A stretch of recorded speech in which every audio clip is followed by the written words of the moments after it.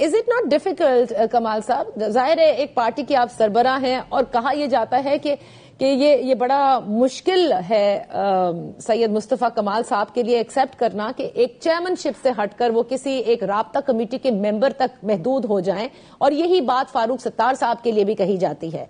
इस बिल्कुल मुश्किल बात है मुश्किल बात बिल्कुल बहुत मुश्किल बात है बहुत नामुमकिन से बात है। मैंने आपको पहले अर्ज़ किया कि जो बातें हम पहले सुनना गवारा नहीं करते थे सात सालों से, और मुझे जो है वो अगर आप मेरी पर्सनल ईगो पूछें, मेरी पर्सनल जो है वो चाह पूछें, मेरी पर्सनल दिल की बात पूछें तो मेरे अंदर का आदमी कहता है कि बिल्कुल आखिरी सांसों तक अकेला रह जाऊँ।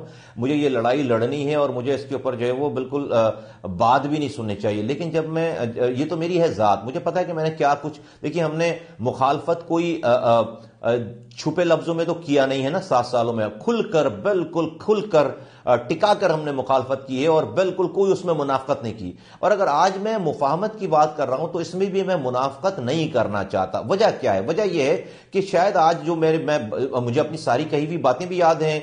आप तमाम पर पूरे पाकिस्तान को भी याद हैं, वो रिकॉर्डेड भी हैं। मुझे पता है कि वो सारी चीज़ें चलेंगी भी, मुझे जवाब देना पड़ेगा। यह है मेरी जात। ये मेरी, ये है मेरा मेरा मेरा ईगो ये मेरी ये पर्सनैलिटी लेकिन अगर मैं उसको कुर्बान करूँ और मैं अपने ऊपर दाग लगाऊँ, मैं अपनी बात को जो है उससे एक पीछे हटूं, और अगर उसका फ़ायदा जो है तीन करोड़ कराची के लोगों को, आज जो खतरात हैं, आज जो मनसूबाबंदी है, वो जो मैं भाप सकता हूँ, मैं देख सकता हूँ, आप देखें सबको तकलीफ़ हुई भी है इस तमाम इस सिचुएशन से। भाई उनको तो जो है मुस्तफ़ा कमाल की बात जो है वो जिसे कहते हैं कि एक एक तरह से कम हो रही है, वो पीछे हट रहा है तो उसको तो खुश होना चाहिए मुखालफिन को, वो बल्कि खुश होने के बजाय वो परेशान हो रहे हैं। अच्छा। तो इसका मतलब है कि इसका मतलब है कि we are we are heading towards right direction we are heading towards the right path तो मैं ये समझ रहा हूँ मैं ये समझ रहा हूँ कि अगर लोगों का तीन करोड़ लोगों का और तीन करोड़ लोगों के ज़रिए जो है वो पाकिस्तान का फ़ायदा होता है और उसमें इज्तमाही फ़ायदा है तो मैं अपनी अपनी अना को कुर्बान करने के लिए अपनी जात को कुर्बान करने के लिए तैयार